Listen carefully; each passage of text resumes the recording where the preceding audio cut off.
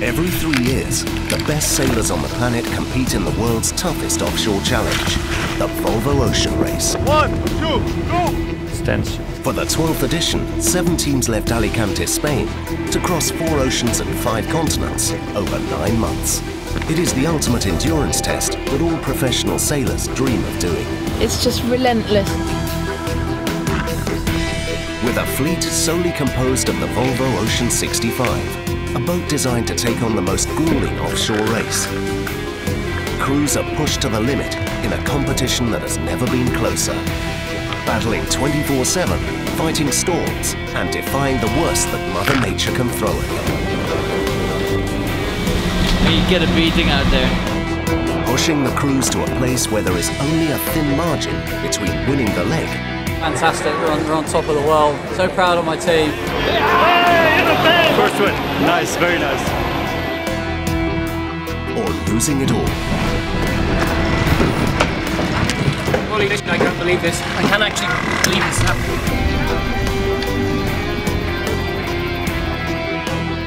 This is their story.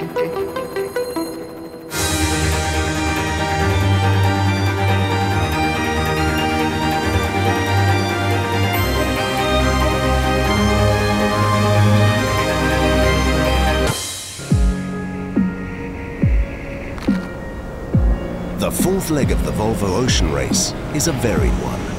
After the heavy weather in the South China Sea, the teams are now sailing through the Pacific Ocean, crossing the equator and approaching the intertropical convergence zone. More commonly called the doldrums, it's a place notorious for its lack of wind, where anything can happen.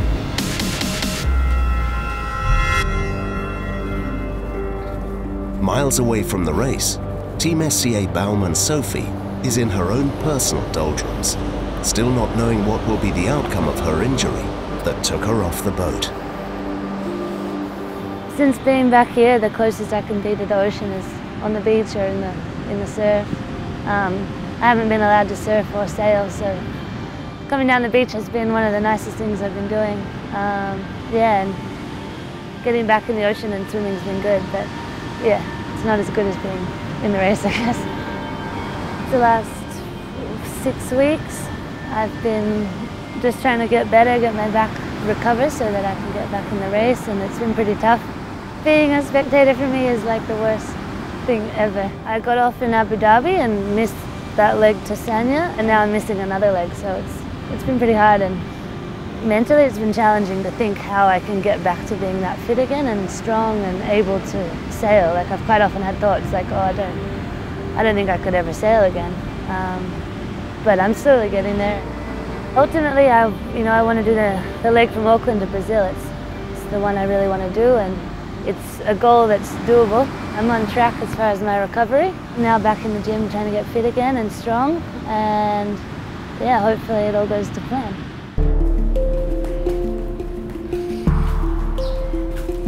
To recover from her back injury, Sophie is undergoing an intense physiotherapy routine. Hi, Judy.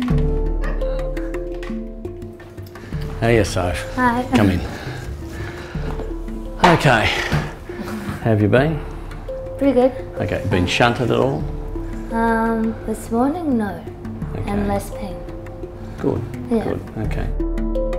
Pressure is, is time, not so much from the recovery. I mean, six weeks, six to eight weeks with the type of surgery she's had, you would expect her to have good recovery.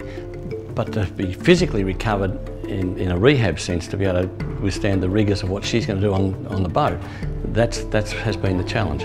It's uh, steady as she goes in the progression. You're not wanting to say this was too much by looking back and saying that was too much. You want to do it more gradually so you're fairly confident she's doing okay. Slide your right hand down. Not bad, but sore. Mm, just on the side. Okay, so right stretching. side's fine. Okay, go to the left. She's got two weeks up her sleeve before she goes to Auckland, but I think from there there's probably another three weeks before the boat then leaves. So she's got five more weeks up her sleeve. Uh, I think that's quite realistic that she's going to make that time frame. Engage, push, slowly back. Okay, and push. Being back on the boat is really physical, um, especially when you're in rough conditions and big waves and windy stuff. The boat, you know, you're living on a boat that's on a 20 degree angle, uh, going off waves, wind in your face. You're constantly moving. You're not sleeping properly. You're eating to make sure you've got enough energy. And then my job as a bowman, I'm constantly underwater, lifting heavy sails. You know, I'm never on flat ground. I'm balancing while I'm doing my job, so it's intense. it also can be scary at times, and it's not an ideal world for anyone who's got a bad back. Everyone wants me back on the boat, and in my mind, I want to be back on the boat and go sailing. But number one is fixing my back and getting my back right, because I don't want to be on the boat if I can't. You know, if I think I'm going to hurt it again, or if I'm on the boat and I'm, you know, worried about not doing my job properly. So I'm just going week by week or day by day, really. Now squat down, and that shouldn't change. And come up. Hey? Is that good? Yeah. Being away from the sea has been tough for Sophie, but being back at home has softened the blow. Just hanging out down here with my mum and dad today, and quite a few of our friends have boat sheds along here as well, so we know pretty much everyone down here. It's good.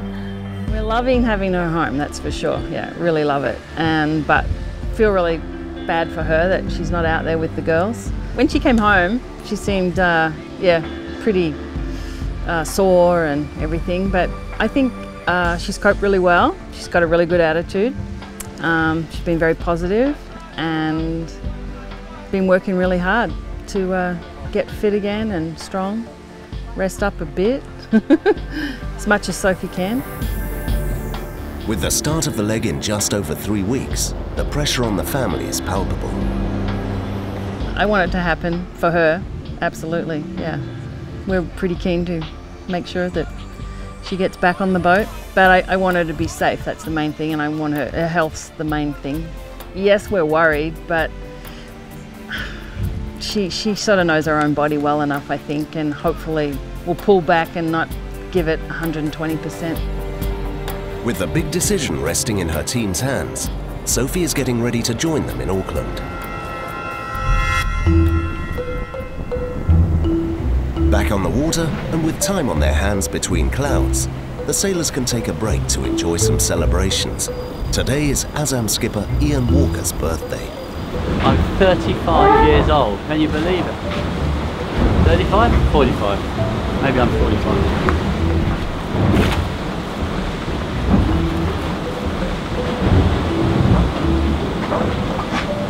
I've got a joke for you. Why are pirates so scary? I'm not sure why. Because they are.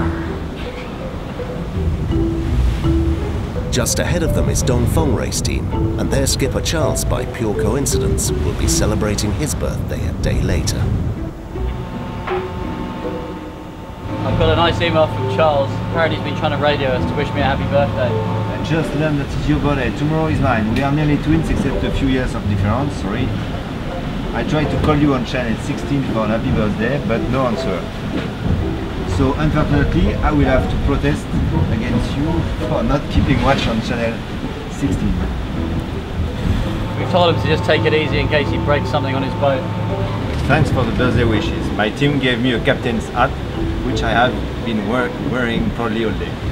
I like the song. Sorry, I forget to wish you a, a happy birthday for tomorrow. Maybe you should take the day off. Cheers, Jan. At sunrise, it's Charles's turn to open his present.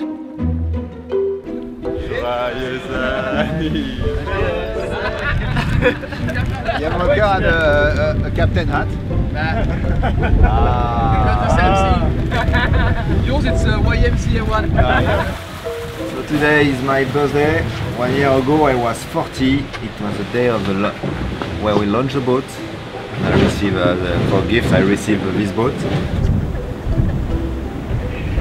The other way.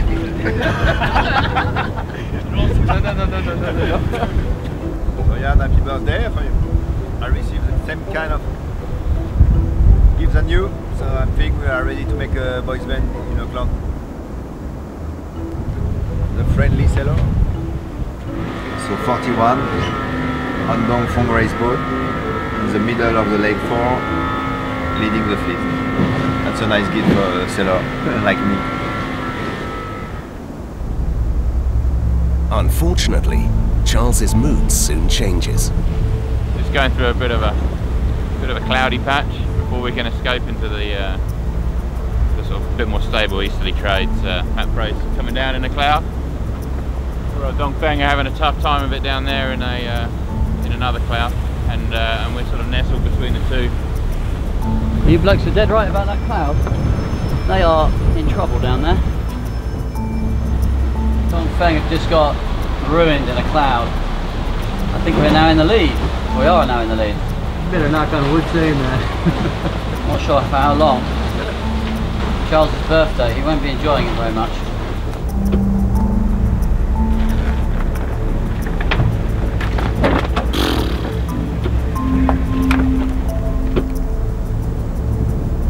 We are we are stuck in the wind between two clouds, and we've got uh, Abu Dhabi and Mapfre uh, windward going fast in uh, with the wind of a cloud. For the Spanish team, it's a great opportunity.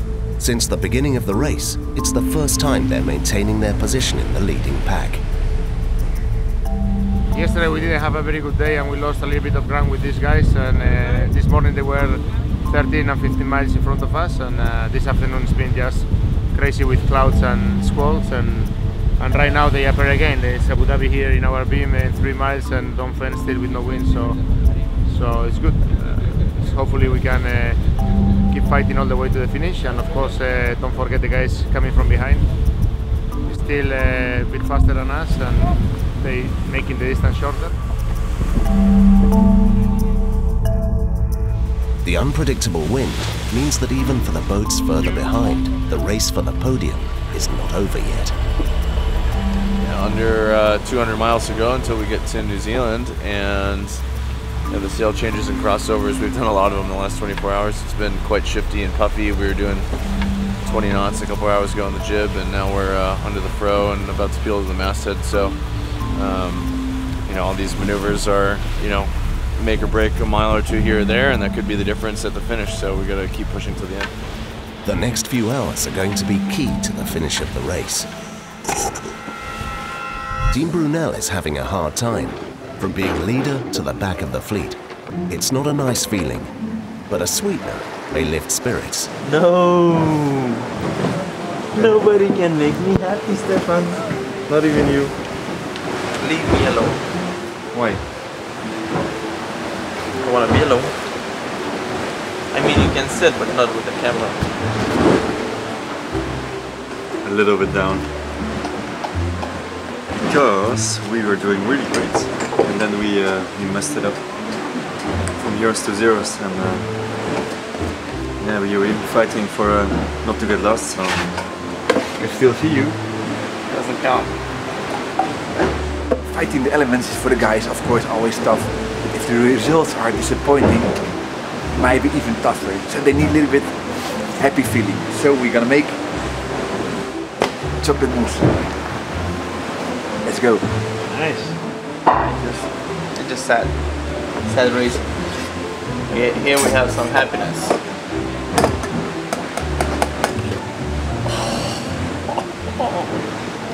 It's proper mousse. Look at this. Look at this.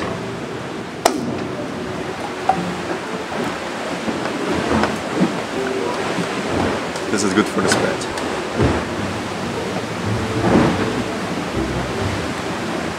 Much better. Makes me happy to to be part of this crew, of this team. The spirit on board is still is still good, and no one is blaming anyone. One day closer to my family. Tell me about your daughter. She's the best in the world. Gonna see her one and a half day. Eh? I've certainly seen her before New Year's. Should be good. You see, you're happy already. Getting there. Um, Fox, you notice there's a big change in mood on the board suddenly. Wow, it's chocolate mousse, you think? The chocolate mousse man. apple vanilla custard would be nice if you made me that, and a coffee with a little bit of chocolate powder in it on top. I think you should eat this every day. Auckland, New Zealand is the fifth port to welcome the 12th edition of the Volvo Ocean Race. With the fleet less than a day from arriving, the race village is in full swing.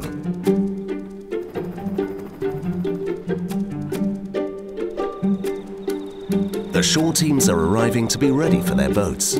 For Maria Bertrand, it's not only her team that she needs to be ready for, but also to welcome her husband back. Right now, I'm really tired because it's been yeah, a really long flight from, from Spain with the little one, but really excited to be here. Um, last time we were here three years ago it was a great stopover, and the boats are doing really well, so excited to see SiFi and excited to see Mapfre up in the lead as well. Right now it's making sure he, he gets his bed sorted and all his toys out of the bag and then see if he he falls asleep tonight and have a good try and have a good rest for, for tomorrow so we better go. Vamos.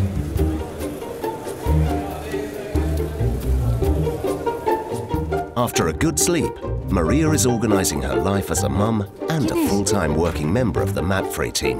Hola! Actually, here in the stopovers it's much easier to be able to do everything because um, Simona is here.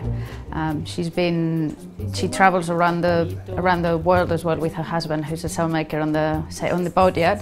Um, so it makes it easier actually because I arrive, then I switch into work mode because she's full time with him, and then when I get back to the hotel or to the apartment, then I switch into being a wife or a mum again. Time is running out as the three leading boats, Abu Dhabi, Dongfeng and Mapfre, are now only a few hours away. It's a bit difficult, especially now that Abu Dhabi and Mapfre are so close to each other. Um, all the other stopovers, there was a bit of a separation, so I could see SiFi arrive and be with him, be the family, and then have time to prepare the next arrival, and then be full on with Mapfre when they arrive. And this is going to be the first time that actually both boats arrive really close, so that's going to be a, a bit of a funny one. We'll see how that one works. I might have to be in the pontoon with the baby for both of them. With Alexander in good hands, Maria is heading off to the team base to get everything in order for the arrivals. Tomorrow, as soon as we get the okay from the hotel. We've got the okay at 12. Okay, so we can go at 12 o'clock. Yeah. Do the check-in and then put the keys in the welcome packs and um, and just prepare everything everything else basically. It's a Mexican standoff for the last few miles of the leg. Three boats are fighting closely for first place. After nearly 10,000 kilometers, the boats are still within sight of each other. Approaching New Zealand is key, as the slightest margin could make the difference. By going east, Mapfre gains some speed and takes the much sought after lead. Could be tricky end to this leg. Um, certainly three boats in close proximity. Alvimedica have come and joined the party now, they're seven miles behind. See them all back there, Abu Dhabi, Dongfeng, Alvimedica. We've just recently made a little gain as we've come into the pressure. They did come into us, but it's elastic really, compressions and extensions. So uh, just got to work hard for the next 25 miles into the finish and um, fingers crossed.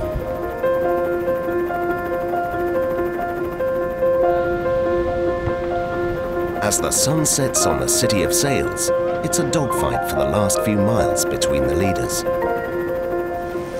Not giving up an inch of their lead, the Spanish team is finally rewarded with their first win of this race.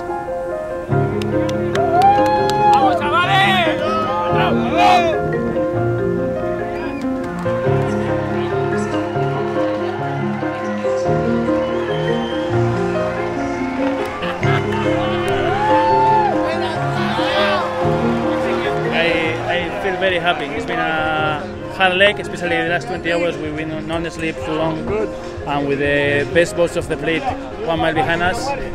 So we are very happy. We push a lot as much as we can, and we have the, the result, which is first in Auckland, which is very special. You know? It's celebration time, but not just yet for Maria, as she needs to guide her joyful team through the paperwork. Main stage over there. But because the bridge is quite full, you're going to get a ring. It's going to take Okay. you to the other side. You do immigration there. Perfect. So they'll have, they just need the passport face to face, to face and that's it. Very exciting to see Mapfre finishing and Xabi leading the team to finally win, especially after the last few legs which haven't been really good for the team. And then at the same time, it's quite, I don't know, hard to see Salva finishing second after they've been first for so long, but it's good for the race and it's good for the team that we finish first and this way we've had well, a winner, a different winner every leg. And with a few minutes to spare, Maria is back on the dock to welcome her husband home.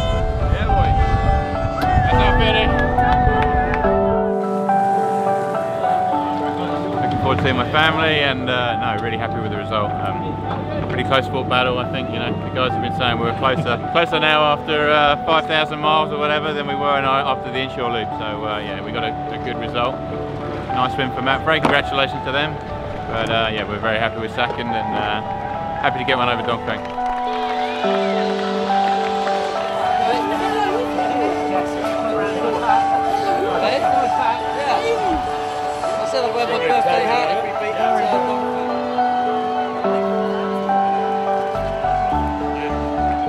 Last month's felt like one of the longest in my life because uh, for a sort of rare occasion, Maria wasn't in the stopover with me. So uh, yeah, it's been about a month, but it's great.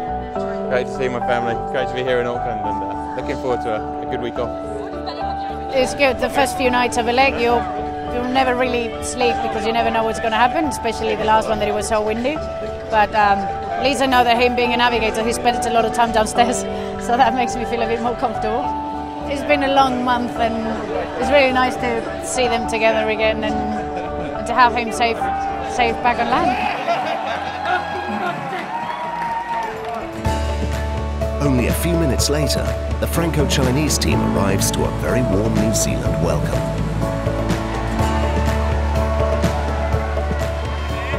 It's not long before Team Alvimedica arrives in a hard-earned fourth place. There's a boat behind us. They had a 100 mile lead at one stage, and it's pretty fickle. So um, happy with the fourth. Nice to be in New Zealand. Nice to be in Auckland, and uh, yeah, it's good.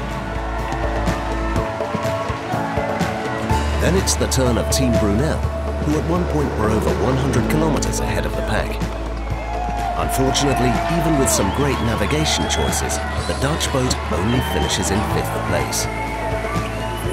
Oh, it has been a very good leg till uh, I think three quarters of the race, and uh, then we made a bad decision and went from first to fifth and never could uh, come back. And uh, yeah, of course, it's always a bit sour, especially I think we sailed. The guys did a fantastic job. They sailed really well. We took a lot of good decisions, and we took one bad decision, and that was uh, that was basically the leg decider for us. Later that night, as Team SCA enter the harbour, there is one person really eager to meet her team. It's 4.30 in the morning and the girls have just crossed the finish line and uh, yes, it's crazy to see them again and see the boat and pretty excited but pretty early in the morning. Been up all night waiting and uh, for me it's super exciting just to see them here and see everyone again and yeah, be back, be back in the team. I couldn't, I couldn't take my eye off the boat as they were coming in and we followed them from a few miles out and yeah, just you know, watching the girls do every normal job there is to do on the boat. Just you know, wishing I was back on there doing it again. So yeah, no, super exciting and uh, yeah, go see the boat again, get familiar with everything, and yeah, I want to be back on that thing.